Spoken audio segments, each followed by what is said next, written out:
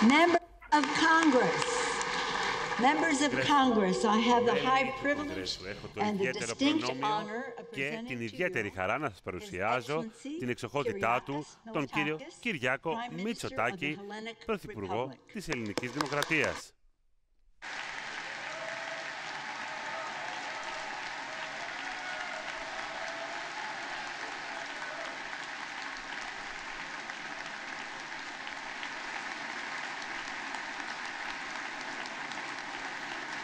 Thank you. Ευχαριστώ πολύ.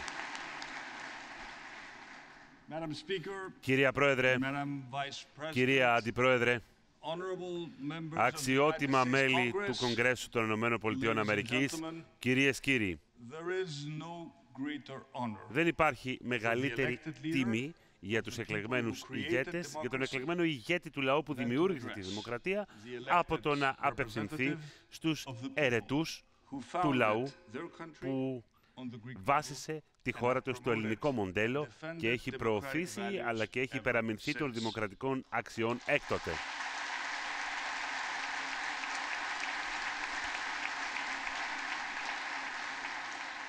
I am conscious as I Είμαι stand before you today απολύτως ευγνώμων και γνωρίζω απολύτως τους βαθύς δεσμούς που ενώνουν τα δυο μας έθνη. Φυσικά είναι λόγος εορτασμών και ευχαριστειών, αλλά ταυτόχρονα αποτελούν ένα, πιστεύω, μια υπενθύμηση των κοινών μας αξιών και πιστεύω σε εποχές όπου και πάλι αυτά δοκιμάζονται. Οι κοινές μας αξίες, τα κοινά μας πιστεύω, στην ε, ελευθερία και όχι στην τυραννία, στη δημοκρατία και όχι στον απολυταρχισμό, αποτελούν μια θεμελιώδη σημασία σεβασμού του κανόνου δικαίου, του κράτους δικαίου και φυσικά του αγώνα κατά της αναρχίας και του πολέμου.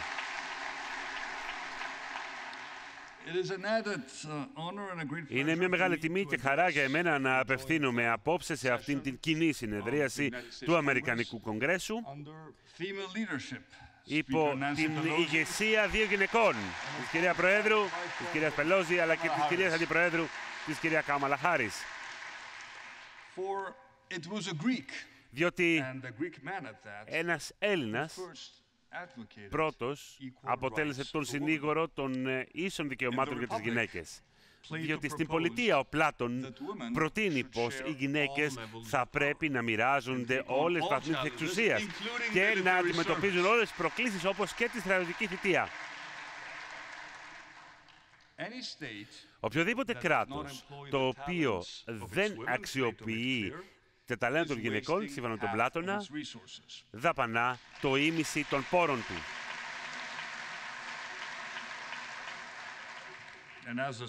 Και ως γιος, πατέρας, αδερφός ισχυρών γυναικών, δεν θα μπορούσα να συμφωνήσω περισσότερο με εκείνον. Όπως όλοι οι Έλληνες, πάντοτε όταν έρχομαι στην Ουάσιγκτον, αισθάνομαι σαν να έρχομαι σπίτι, διότι ό,τι βλέπω γύρω μου, η αρχιτεκτονική, οι τέχνες, οι ιδέες που τις βλέπω σμιλευμένες στο μάρμαρο, στην πόλη, όλα μου είναι τόσο οικία. Πηγαίνω στο μνημείο Λίνκον και αυτό μου θυμίζει σαν να περιδιαβαίνω και να περπατώ στον Παρθενώνα. Πριν ο Λόρδος Έλγιν παρέμβει εκεί για τα δικά του καλλιτεχνικά χόμπι.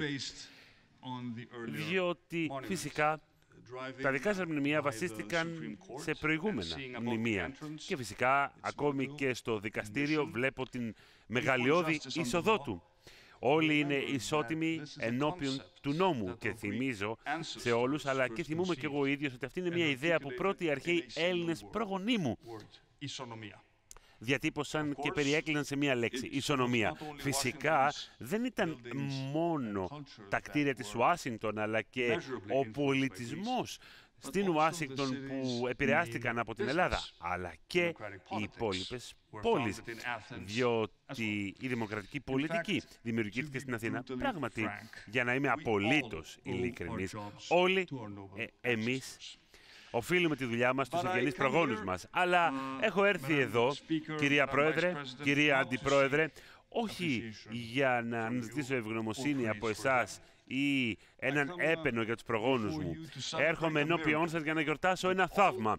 Το θαύμα όλων των ελεύθερων ανθρώπων. Το θαύμα εκείνο που λατρεύουν όλοι οι ελεύθεροι άνθρωποι και που ενώνει τους Αμερικανούς και τους Έλληνες με θαυμαστό τρόπο. Αυτό το θαύμα το ελληνικό ιδεώδες, το οποίο για πάντα θα άλλαζε τον κόσμο, είναι πως η κοινωνία λειτουργεί με βέλτιστο τρόπο αν όλοι οι πολίτες της είναι ίσοι και έχουν το δικαίωμα να είναι ισότιμοι ενώπιον του νόμου. Με μία λέξη, δημοκρατία.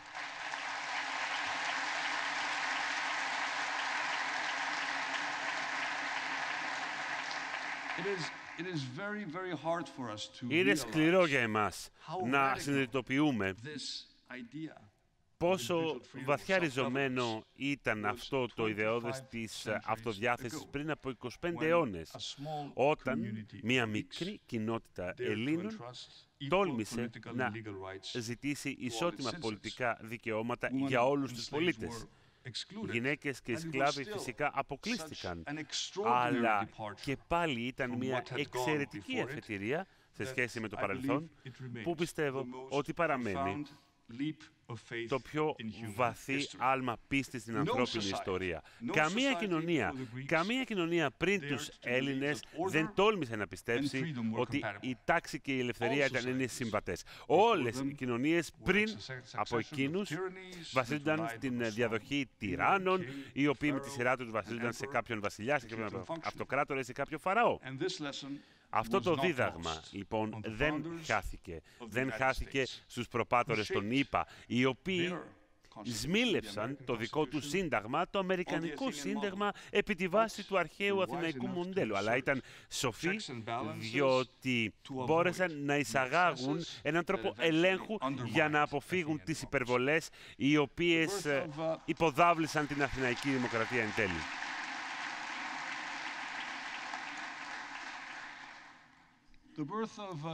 Η γένεση της δημοκρατίας στην αρχαία Αθήνα δημιούργησε μια έκρηξη δημιουργικού πνεύματος στην Ελλάδα που σήμανε την γέννηση τεκτονικής των τεχνών, του δράματος, της φιλοσοφίας που διαμόρφωσε τον δυτικό πολιτισμό έκτοτε.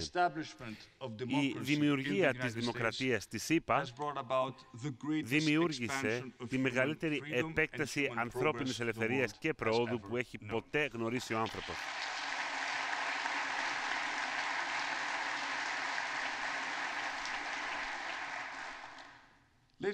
Κυρίες και κύριοι, την προηγούμενη χρονιά uh, η Ελλάδα γιόρτασε τα 200 έτη από την ε, απαρχή του δικού μας πολέμου της εξαρτησίας. Με περίεργο και ενδιαφέροντα τρόπο, κατόπιν ενός ιστορικού πεπρωμένου, ο ελληνικός λαός ενέπνευσε τη δημιουργία της Αμερικανικής Δημοκρατίας όταν εκείνοι πολέμησαν κατά των δικών τους τυράννων για να πολεμήσουν υπέρ της ελευθερίας τους. Εσείς μας δείξατε με τη σειρά σας κάτι άλλο, ότι η ελευθερία είναι ένα αγαθό για το οποίο αξίζει να πολεμήσουμε. και ακόμη και παρά όλες τις πιθανότητες. Καταλάβαμε την δημιουργία τη δική σας δημοκρατίας να είναι το νερό στο αυλάκι. Στην ε, σύγχρονη ιστορία ένα μοντέλο για τους καταπιεσμένους ευρωπαϊκούς λαούς και φυσικά ένα παράδειγμα για το δικό μας μέλλον. Από την απαρχή. Γι' αυτό λοιπόν οι δικοί μας προπάτορες κοίταξαν από την άλλη μεριά του Ατλαντικού για υποστήριξη. Από τη μακρινή Πελοπόννησο οι ηγέτες της Ελληνικής Επαναστάσεως απίθυναν μία έκκληση την άνοιξη του 1921 προς τον Αμερικανικό λαό, προς τους φίλους τους, προς τους συμπολίτες τους και προς τα αδέρφια τους έκαναν λόγο για την φυσική ενσυναίσθηση που ένιωθαν οι Έλληνες για τους Αμερικανούς, μίλησαν για τη δίψα ελευθερίας που είχαν στην απαρχή τους αρχαίους Έλληνες. Ήθελαν να μιμηθούν εσάς και ε, φυσικά εσείς μιμηθήκατε τους αρχαίους προγόνους μας. Έτσι λοιπόν ήθελαν να φανούν αντάξει των προσδοκιών σας. Οι προπάτορες της Αμερικανικής Δημοκρατίας εντυπωσιάστηκαν και φυσικά το φως, αλλά και η ελευθερία είναι σε σταθερή πρόεδρο πρόοδο, έγραψε ο Τόμας Τζέφερσον, διότι υπάρχει εδώ μία σπίθα, η οποία σπίθα δημιουργήθηκε σε ολόκληρη την Ιφίλιο και έδωσε ένα φως σε όλους τους καταπιεσμένους. Πριν από 200 έτη ακριβώς, το 1822, οι επαναστατημένοι Έλληνες έκαναν μια εθνοσυνέλευση στην Επίδαυρο. Αντίλαξαν ιδέες και δημιούργησαν το πρώτο σύνταγμα. Με αυτό το έγγραφο εισαγάγαμε στους νέους ελεύθερους Έλληνες μια νέα σειρά δικαιωμάτων. Πάνω απ' όλα, το δικαίωμα ενός έθνους να αποτινάσει τα δεσμά της τυραννίας έτσι ώστε να ζήσει σε ένα κράτος δικαίου. Με τα λόγια της δικής μας ανεξαρτησίας, Έχουμε κάτι λιγότερο σε σχέση με τα άλλα έθνη, κάτι το οποίο θα μας κάνει να μην έχουμε δικαιώματα; ή μήπως είμαστε λιγότερο πολιτισμένοι ή κατώτερης φύσεως σε σχέση με άλλους, μήπως δεν είμαστε αντάξει του να χαρούμε αυτά τα δικαιώματα, μήπως πρέπει να είμαστε καταδικασμένοι σε αιώνια σκλαβιά; ή μήπως να είμαστε αιώνια υπό τον ζυγό ενός τυράννου στην Ελλάδα; Ποτέ δεν σταματήσαμε να υπερασπιζόμαστε αυτά τα ιδεώδης σε χαλεπούς καιρούς. Μια σοκαριστική πραγματικότητα. Εάν, εάν αντικαταστήσουμε τη λέξη Ελλάδα με τη λέξη Ουκρανία, θα δείτε ομοιότητες τρομακτικές με το σήμερα.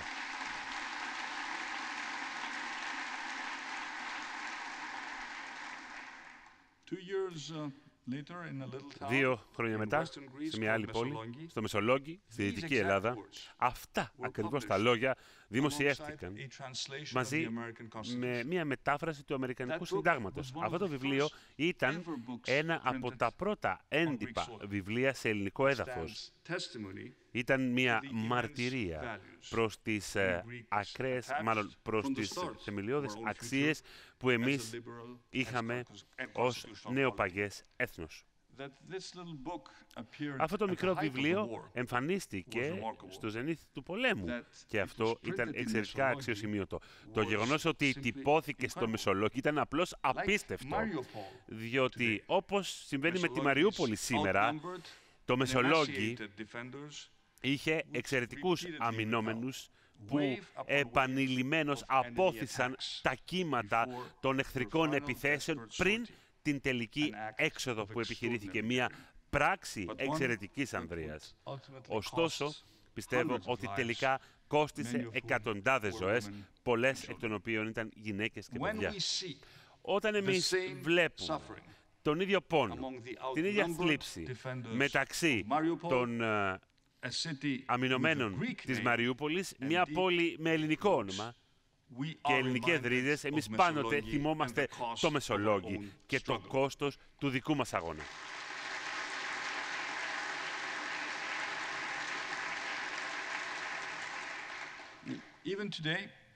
Ακόμη και σήμερα δεν έχουμε ξεχάσει τους Αμερικανούς εθελοντές, οι οποίοι κίνησαν για να πολεμήσουν στο πλευρό μας. Κάποιοι εξ αυτών έδωσαν τη ζωή τους για τη δική μας ελευθερία. Τα ονόματά τους τιμώνται και φυσικά οι τάφοι τους είναι εξαιρετικά προσεγμένοι. Ούτε και έχουμε ξεχάσει άλλους συμπατριώτες σας, οι οποίοι προέβησαν σε μία από τις πρώτες ανθρωπιστικές αποστολές στην ιστορία, στέλνοντας στην Ελλάδα αντίστοιχη βοήθεια. Όπως ε, πολλοί φρόντισαν γυναίκες και παιδιά που είχαν μείνει άστιγοι και δημιούργησαν νοσοκομεία, σχολεία αλλά και ορφανοτροφία. Μας υποστήριξαν πάρα πολύ στα δύσκολα έτη που ακολούθησαν. Το πρώτο σχολείο, κυρία Πρόεδρε, κυρία Αντιπρόεδρε, το πρώτο σχολείο θηλαίων το 1831 δημιουργήθηκε στην ε, Αθήνα από έναν Αμερικανό πάστορα, τον Τζον Χιλ. Ακόμη και σήμερα συνεχίζει να διδάσκει Έλληνες σήμερα στο ιστορικό κέντρο των Αθηνών. Και αυτό το μακρύ τόξο αμερικανικής φιλανθρωπίας συνεχίστηκε καθ' όλη τη διάρκεια του 19ου αιώνα πηγαίνοντας έως την Μέση Ανατολή και ειδικά σε χαλεπούς καιρούς και τις επόμενες δεκαετίες, κυρίως έναν αιώνα πριν, όταν εκατοντάδες χιλιάδες προσφύγων κατέκλυσαν την Ελλάδα από την Μικρά Ασία μετά την ε, καταστροφική συνέπεια του Πρώτου Παγκοσμίου Πολέμου. Οι Αμερικανικοί θεσμοί ήταν εκεί για να προσφέρουν ανακούφιση σε όλους αυτούς. Φυσικά δεν πρέπει να ξεχνάμε ότι το σχέδιο Marshall βοήθησε τη χώρα μου να ανοικοδομήσει την υποδομή της μετά τον καταστροφικό Δεύτερο Παγκόσμιο Πόλεμο αλλά και τον εμφύλιο πόλεμο που ακολούθησε. Ταυτοχρόνως θα έλεγα ότι η Ελλάδα ανταπέδωσε ανταπέδωσε σε σχέση με τους Έλληνες, με τους Έλληνες ορφανούς που ήρθαν στην Αμερική. Κάποιοι από αυτούς έγιναν μελλοντικά μέλη του Κογκρέσου, αλλά και ηγέτες του πολεμικού ναυτικού των ΗΠΑ. Κάποιοι άλλοι έγιναν συγγραφείς. Πολλοί εξ αυτών αφιερώθηκαν σε έναν άλλο σκοπό για την κατάργηση της δουλείας που αποτέλεσε έναν μεγάλο σκοπό επιτακτικού χαρακτήρα και φυσικά είχε ως κοινό ένθερμο τους άνδρες και τους πολίτες εκείνους που στο παρελθόν ήταν και εκείνοι σκλάβοι. Οι δικοί μας χώρες, οι δύο δικές μας χώρες ήταν πάντως στο σωστό μονοπάτι της ιστορίας. Πολεμήσαμε στο ίδιο πλευρό σε δύο παγκοσμίους πολέμους για να υπερασπιστούμε την ελευθερία και τη δημοκρατία. Οι δικές μας δημοκρατίες πολέμησαν με εσωτερικούς δαίμονες, διότι σε αμφότερες τις χώρες μας έπρεπε να περάσουμε από εμφύλιους πολέμους, να βιώσουμε το σπαραγμό της οικονομικής κρίσης, αλλά αναδεθήκαμε ισχυρότεροι και πιο δεσμευμένοι να υπερασπιστούμε τις αξίες εκείνες που μας έδωσαν οι προγονείς μας δίνοντας τη ζωή τους.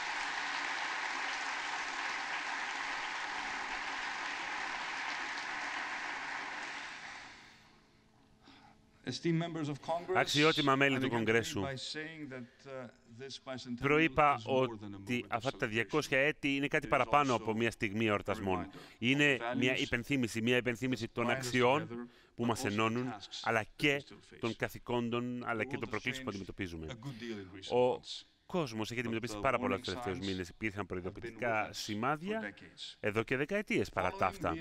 Ακολουθώντας το τέλος του ψυχρού πολέμου, εμείς αφελώς πιστέψαμε ότι η Ευρώπη η οποία δίπαξ οδήγησε τον κόσμο σε παγκόσμιο πόλεμο, έχει επιτέλους βρει το μονοπάτι της ειρήνης. Πιστέψαμε ότι η διεθνή συνεργασία και η κοινή μας δέσμευση στο κράτος δικαίου πλέον θα υπερήχε έναντι των όπλων. Πιστέψαμε στην εμβάθυνση της Ευρωπαϊκής Ένωσης, ένα μοναδικό πείραμα στην ιστορία του κόσμου και θα ένωνε φυσικά τις χώρες μας. Και πιστέψαμε ότι αυτή η ένωση θα οδηγούσε πλέον τον πόλεμο στο χρονοτούλαπο της ιστορίας, ενώ ταυτόχρονα πλέον δεν θα ζούσαμε τις πικρές εμπειρίες του 20ου αιώνα. Κανένας πλέον δεν θα καταπατούσε τα δικαιώματα άλλου λαού. Αφελώς, αμελήσαμε τα προειδοποιητικά σημάδια και αγνοήσαμε τις δράσεις της Ρωσίας στη Συρία, αλλά και την προσάρτηση της Κρυμαίας. Τώρα γνωρίζουμε ότι κάναμε λάθος. Σήμερα, όπως όλοι σας, εμείς οι Έλληνες κοιτάμε το τι συμβαίνει 500 μίλια προς βοράν και είμαστε τρομοκρατημένοι. Κοιτάμε προς το Κίεβο, κοιτάμε στην Οδυσσό, κοιτάμε προς τις πόλεις όπου η δική μας επανάσταση δημιουργήθηκε ως ιδέα. Κοιτάμε την τραγωδία στην Ουκρανία. Η Μαριούπολη ήταν μια πόλη η οποία δημιουργήθηκε από την Εκατερίνη τη Μεγάλη για να μετεγκατασταθούν οι Έλληνες της Κρυμαίας που ήθελαν να διαφύγουν από το Οθωμανικό ζυγό. Και αυτό που βλέπουμε είναι πως για ακόμη μία φορά Πρόκειται για έναν λαό που αντιμετωπίζει μια ανάγκη να υπεραμπινθεί των δικαιωμάτων του για να διασφαλίζει την ελευθερία του και το δικαίωμά του στην ελευθερία. Επιτρέψτε μου να είμαι ξεκάθαρος. Δεν έχουμε τίποτα εναντίον του ρωσικού λαού με τον οποίο έχουμε κοινό δόγμα, αλλά και κοινή ιστορία. Αλλά δεν μπορούμε, δεν μπορούμε να σφυρίζουμε αδιάφορα προς έναν αγώνα που θυμίζει τον δικό μας τόσο έντονα.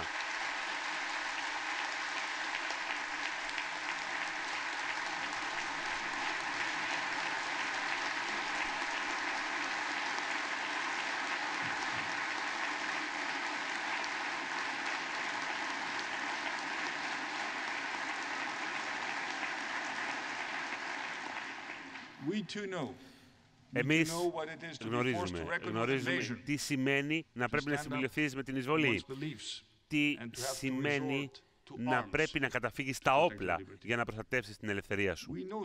Γνωρίζουμε κάτι σχετικά με τον ηρωισμό των αδυνάτων. Και ξέρουμε φυσικά το τι συμβαίνει από τη νίκη που έρχεται από τη μη συνθηκολόγηση, διότι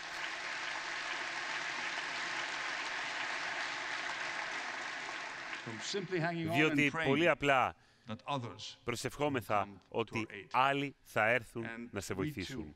Και εμείς επίσης κατανοούμε τη σπουδαιότητα των φίλων, κατανοούμε την ισχύ των συμμάχων σε σχέση με την άμυνα των δικών μας αξιών.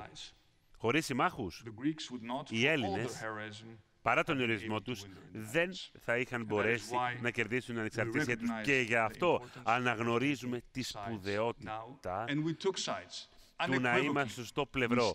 Και εμείς αταλάντευτα είμαστε υπέρ της Ουκρανίας κατά της επιθετικότητας του κυρίου Πούτιν.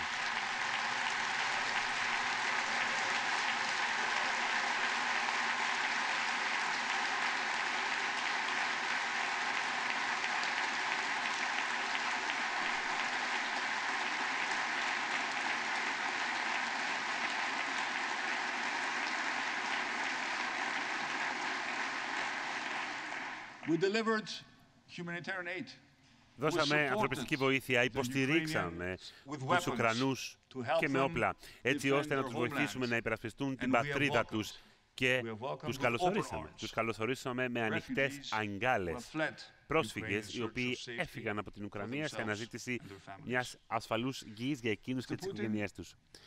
Ο κύριος Πούτιν προσπαθεί να δημιουργήσει έναν κόσμο όπου η ισχύ θα ανήκει στα ισχυρά κράτη αλλά όχι στα μικρά.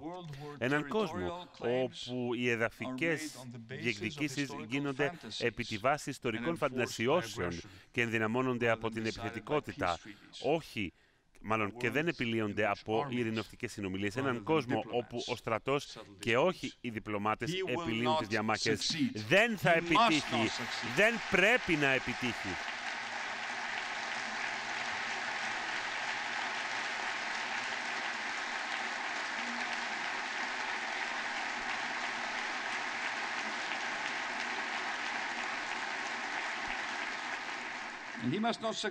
Δεν θα πρέπει να επιτύχει όχι μόνο εποφελία της Ουκρανίας, αλλά ταυτόχρονα για να αποσταλεί ένα μήνυμα.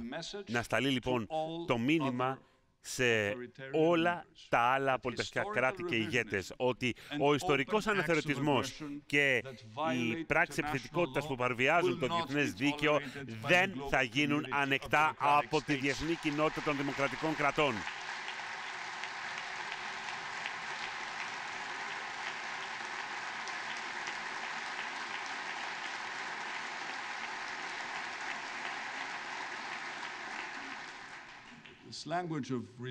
Η γλώσσα του αναθερωτισμού, η γλώσσα της νοσταλγίας μιας αυτοκρατορίας δεν μπορεί να συνεχιστεί. Και μιλώντας για ανοιχτές πράξεις επιθετικότητας, εγώ ρωτώ, αξιότιμα μέλη του Κογκρέσου, σας ζητώ να μην ξεχάσουμε μια ανοιχτή πληγή που έχει προκαλέσει στον Ελλισμό έναν ατελείωτο πόνο τα τελευταία χρόνια. Αναφέρομαι σαφώς στην εισβολή και διχοτόμηση της Κύπρου.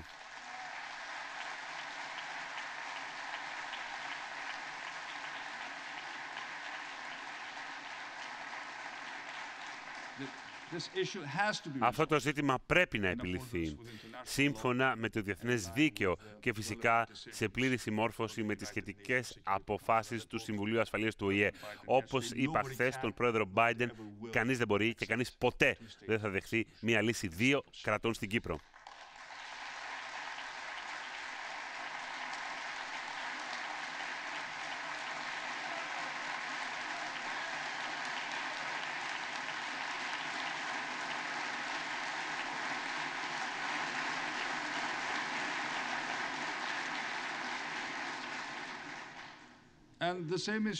Και το ίδιο ισχύει, κυρία Πρόεδρε, για όλες τις άλλες περιφερειακές διαμάχες. Η Ελλάδα πάντοτε αναζητούσε την ειρήνη, ενώ ταυτόχρονα τίνει χειραφιλίας προς τους γείτονές μας, διότι πάντοτε είμαστε ανοιχτοί στον διάλογο. Ταυτόχρονα πρέπει να πω ότι υπάρχει μόνο ένα και μοναδικό πλαίσιο που μπορούμε να χρησιμοποιήσουμε για να επιλύσουμε τις διαφορές μας. Το διεθνές δίκαιο και οι άγραφες αρχές της σχέσης καλής γειτονίας.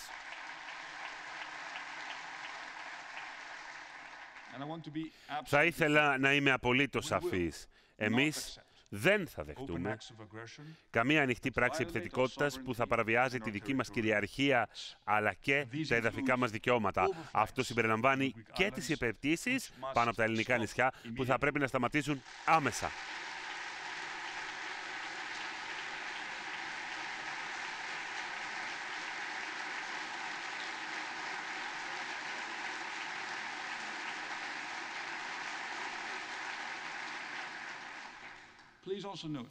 Παρακαλώ επίσης, σημειώσατε το τελευταίο στοιχείο που χρειάζεται, το τελευταίο πράγμα που χρειάζεται το ΝΑΤΟ σε μια εποχή όπου η προσοχή μας είναι στραμμένη στη βοήθεια των Ουκρανών και πώς θα μειώσουν τη ρωσική επιθετικότητα. Το τελευταίο πράγμα που χρειαζόμαστε είναι μια άλλη πηγή αστάθειας στην νότια-ανατολική πτέρυγα του ΝΑΤΟ.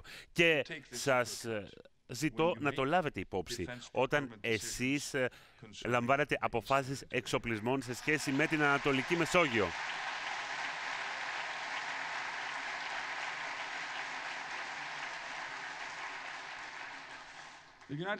Οι Ηνωμένες Πολιτείες Αμερικής έχουν ζωτικά συμφέροντα σε αυτή τη μεριά του κόσμου. Είναι πολύ σημαντικό να παραμείνετε εκεί πλήρως αφοσιωμένοι και δεσμευμένοι, εργαζόμενοι με εταίρους με τους οποίους μοιράζεστε όχι μόνο κοινές στρατηγικές προτεραιότητες, αλλά και κοινές αξίες όπως και κοινή ιστορία.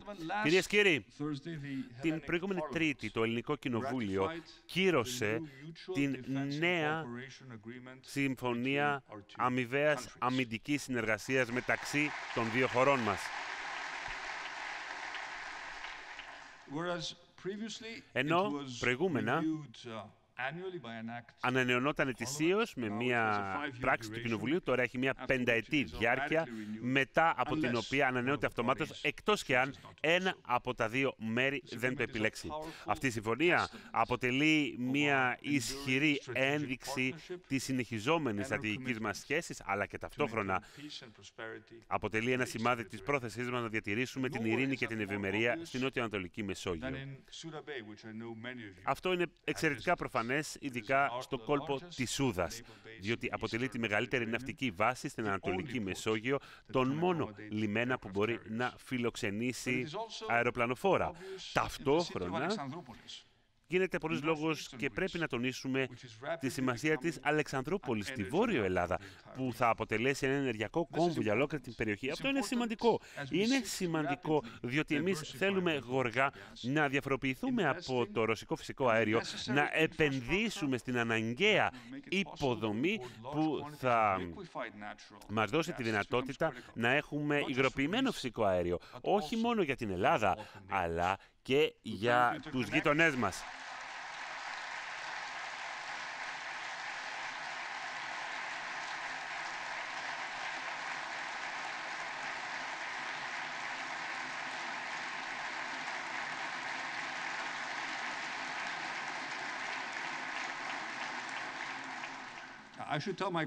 Θα πρέπει να πω συναδέλφους μου ότι στο ελληνικό κοινοβούλιο δεν με χειροκροτούν τόσο. Προσπαθούμε, προσπαθούμε να υπάρξει μια διασύνδεση μεταξύ των ελληνικών δικτύων ε, ηλεκτρικού με την Κύπρο, το Ισραήλ αλλά και την Αίγυπτο. Ο σκοπός είναι να μπορέσουμε να εισαγάγουμε φτηνές ΑΠΕ από την Μέση Ανατολή αλλά και την Αφρική προς το ευρωπαϊκό δίκτυο ηλεκτρικού ρεύματος. Αυτή η εταιρική σχέση μεταξύ των δύο χωρών μας δεν περιορίζεται μόνο σε ζητήματα ασφαλείας και ενεργείας. Η Pfizer δημιούργησε ένα μεγάλο κέντρο δεδομένων στη Θεσσαλονίκη. Η Microsoft χτίζει και δημιουργεί data centers έξω από την Αθήνα. Η JP Morgan έχει επενδύσει σε μια εταιρεία fintech στην Ελλάδα. Πιστεύω ότι αυτό που βλέπουν σήμερα οι αμερικανικές εταιρείες στην Ελλάδα δεν είναι μόνο μια χώρα σε ιδανική γεωγραφική θέση, μια χώρα που είναι ευλογημένη με ένα φυσικό κάλος που την καθιστά έναν μαγνήτη. για επισκέπτες από οπουδήποτε ανά τον κόσμο, ταυτόχρονα βλέπουν μια δυναμική οικονομία που έχει υπερβεί τις δυσκολίες και τις παθογένειες του παρελθόντος, ενώ ταυτόχρονα υποστηρίζει την επιχειρηματικότητα αλλά και ένα περιβάλλον φιλικό προς επενδύσεις. Ταυτόχρονα βλέπουν κάτι σημαντικό. Βλέπουν νέους, βλέπουν ταλαντούχους ανθρώπους, βλέπουν νέους ταλαντούχους εκπαιδευμένους Έλληνες, οι οποίοι μετά από μια δεκαετή κρίση επιλέγουν να παραμείνουν στην πατρίδα τους αντί να μεταναστεύσουν αλλαχού. Επιπλέον, πολλοί από εκείνους που έφυγαν από τη χώρα μας τώρα εκ νέου πείθονται να επιστρέψουν και νομίζω ότι θα αποτελέσουν το λαμπρό μέλλον της Ελλάδος.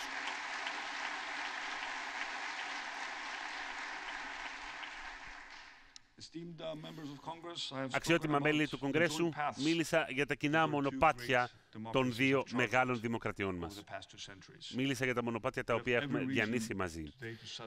Σήμερα λοιπόν μπορούμε να γιορτάσουμε τα επιτεύγματά μας. Αλλά θα ήταν ανόητο να επαναπαυτούμε.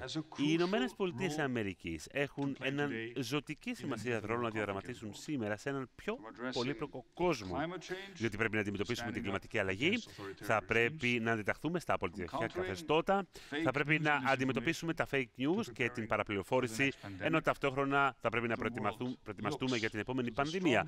Ο κόσμος στρέφει τη ματιά του προς την ισχυρότερη και πιο ευημερούσα δημοκρατία για την ηγετική της θέση. Δεν μπορείτε να μείνετε στο περιθώριο.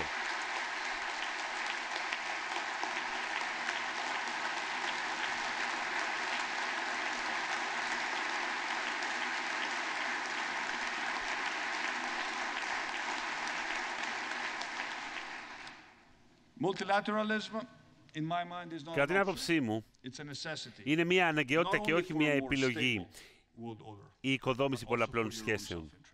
Όχι μόνο για ένα οποιοδήποτε κράτος, αλλά για το κοινό συμφέρον όλων. Ωστόσο, απαιτείται να θέσουμε τα του οίκου μας σε τάξη. Προσωπικά μιλώντας, ανησυχώ, ανησυχώ περισσότερο σχετικά με τον εσωτερικό κατακαιρματισμό των δημοκρατιών μας έναντι των υπολείπων απειλών. Πολύ συχνά θυμόμαστε τα λόγια του Προέδρου Ρέιγκαν, πως η ελευθερία δεν είναι παρά μόνο μία γενιά μακριά από τον αφανισμό.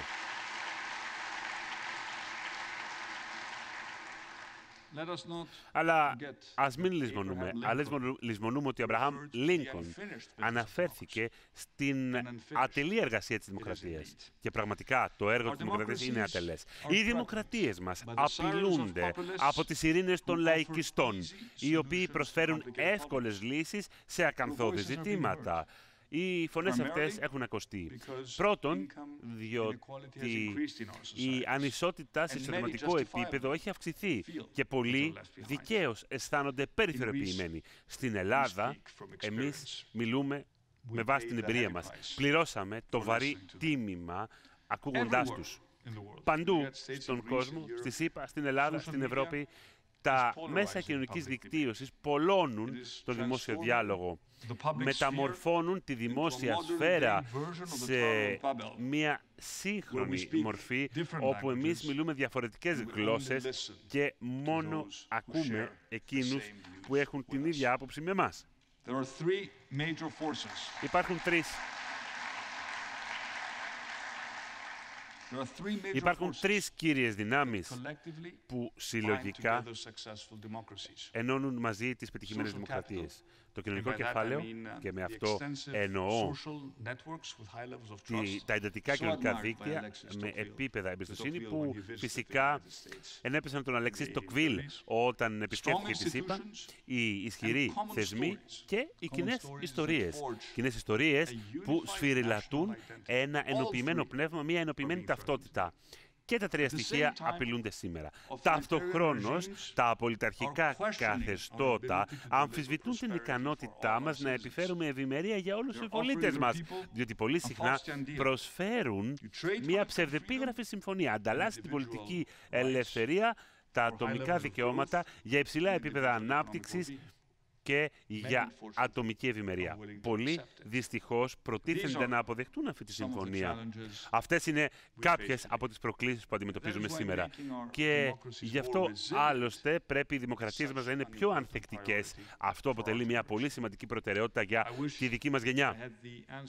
Εύχομαι να είχα τις απαντήσεις σε όλα αυτά τα πολύπλοκα ερωτήματα, αλλά πιστεύω πως γνωρίζω από πού να αρχίσω. Πρέπει να ενδυναμώσουμε τους δημοκρατικούς μας θεσμούς έτσι ώστε να αντιμετωπίσουμε τις αιτίες του θυμού και τις δυσπιστίες εκ μέρους των πολιτών. Πρέπει να αντιμετωπίσουμε τις εισοδηματικές ανισότητες χωρίς να χάσουμε τον δυναμισμό των ανοιχτών μας οικονομιών. Πρέπει να μετασχηματίσουμε τα μέσα κοινωνικής δικτύωσης έτσι ώστε να είναι λιγότερο διαβρωτικοί παράγοντες για την κοινωνία.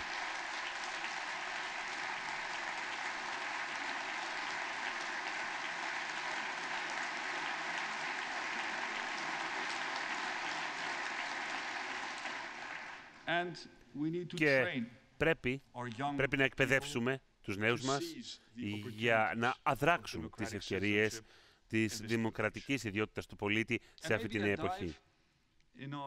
Ίσως, ακολουθώντας το ιστορικό μας ε, παρελθόν, θα μας ήταν χρήσιμο. Ο James Madison ήξερε ότι οι δημοκρατίες μπορεί να απειληθούν από τις αναταραχές και από την αδυναμία των παθών μας. Γι' αυτό λοιπόν η σωστή λήψη αποφάσεων, η λήψη αποφάσεων όχι με βάση το συνέστημα, η λογοδοσία ήταν κάποιες από τις κύριες σκέψεις του. Ο Μάτισον σαφώς ενεπνεύσει από τον Περικλή, ο οποίος γνώριζε ότι η δημοκρατία έχει μια σκοτεινή πλευρά που εάν αφαιθεί αχαλήνοτη θα μπορούσε να οδηγήσει σε αδιέξοδο. Ο Θοκυδίδης έβαλε τον Περικλή να λέει για την αρχαία Αθήνα. Είμαστε μια ελεύθερη δημοκρατία, αλλά υπακούμε στους νόμους μας.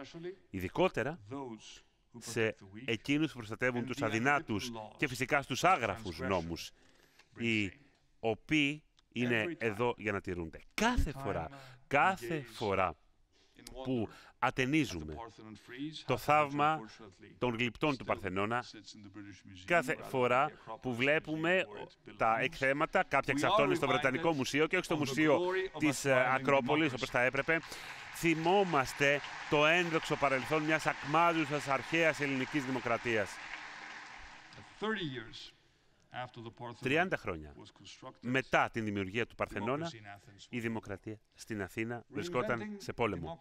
Η εκ νέου επινόηση της δημοκρατίας για να απαντήσει στις προκλήσεις του 21ου αιώνα ίσως να ακούγεται σαν ένας παράδοξος γρίφος, αλλά αυτή είναι η αποστολή της γενιάς μας και είμαι σίγουρος ότι εμείς θα τα καταφέρουμε.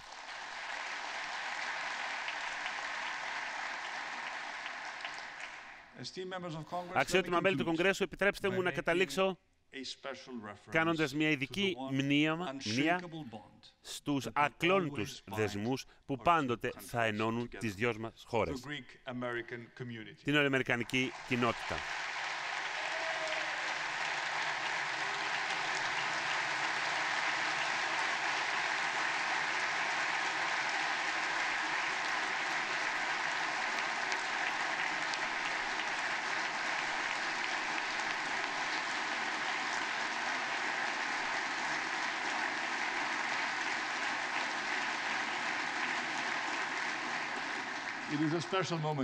Είναι μια ιδιαίτερη στιγμή γιατί βλέπω πολλούς εξημών εδώ μαζί μας.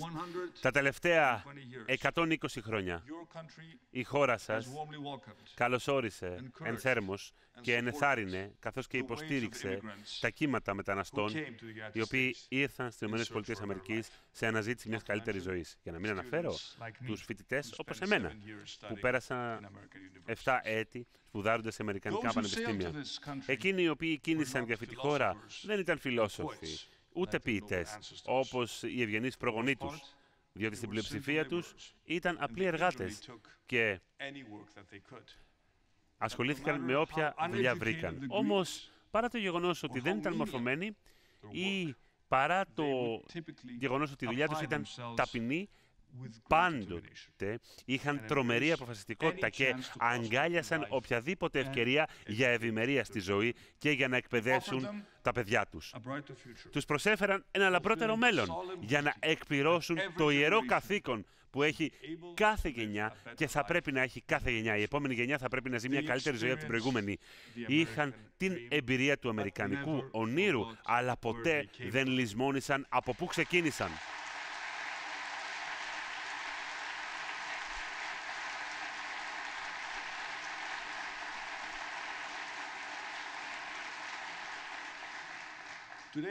Σήμερα οι Έλληνες που ζουν στις ΗΠΑ και τα 3 εκατομμύρια Αμερικανών που αυτοπροσδιορίζονται ως Έλληνες συμπεριλαμβάνουν κάποιους ηγέτες στο επίπεδα του δικαστικού σώματος, της πολιτικής, των τεχνών κτλ.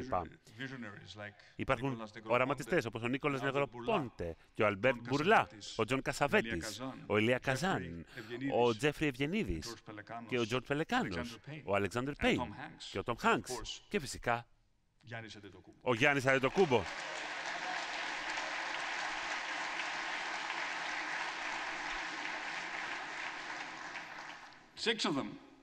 Αντετοκούμπο. Έξι εξ αυτών βρίσκονται στο Κογκρέσο. Ένας φίλος μου, ο Μάικ Δουκάκης, κάποτε ήταν υποψήφιος πρόεδρος των ΗΠΑ. Και ένας από τους λόγους για τους οποίους οι Έλληνες έγιναν αποδεκτοί στην Αμερική έγκυται στο γεγονός ότι οι αξίες της Αμερικής αλλά και των Ελλήνων έχουν τόσα κοινά. Μία από τις ιδιότητες που δίνουμε σημασία στην Ελλάδα είναι η σοφροσύνη. Μία λέξη δύσκολο να μεταφραστεί, μπορεί να μεταφραστεί ως ψυχραιμία και αυτοέλεγχος. Οι αρχαίοι Έλληνες πίστεψαν ότι η αλαζονία, τα άκρα και η υπερβολή αποτελούν τις χειρότερες απειλές προς τις δημοκρατίες. Και ο Αριστοτέλης έγραψε πως η ζωή σύμφωνα με τη λογική είναι καλύτερη και πιο ευχάριστη. Αυτή τη στιγμή η λογική πέρα από οτιδήποτε άλλο είναι ο ίδιος ο άνθρωπος. Αυτή είναι η λογική. Αυτή η λογική μου υπαγορεύει ότι εμείς οι Έλληνες αλλά και οι Αμερικανοί έχουμε πολλά περισσότερα να συνεισφέρουμε ως θεματοφύλακες της δημοκρατίας. Ότι οι κυβερνήσεις του λαού, για το λαό, από το λαό θα ακμάσει και πάλι. Και εδώ σήμερα, εδώ σήμερα κομίζω κομίζω τις ευχαριστίες του ελληνικού λαού και επίσης τη φωνή του για το ότι είμαστε αλληλέγγυοι, είμαστε αλληλέγγυοι με τον Αμερικανικό λαό. Όποτε και οπουδήποτε χρειαστεί για να διασφαλίσουμε ότι οι ελπίδες των προγόνων μας κληροδοτούνται στον κόσμο 25 αιώνες μετά και ότι αυτές θα συνεχίσουν και το όνειρο της ελευθερίας για κάθε ανθρώπινο όν επί του πλανήτη Γη ποτέ δεν θα πεθάνει. Ζήτω η φιλία μεταξύ Ελλάδος και Ηνωμένων Αμερικής. Ευχαριστώ. Ευχαριστώ πολύ.